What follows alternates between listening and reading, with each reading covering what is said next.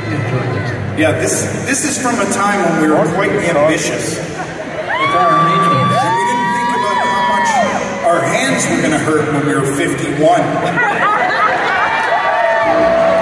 or 54. That hurts so much I got to six. Tyler's 54, but he looks pretty good for 65, am I right?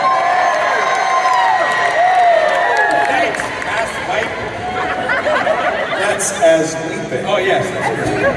This one's called Grade 9.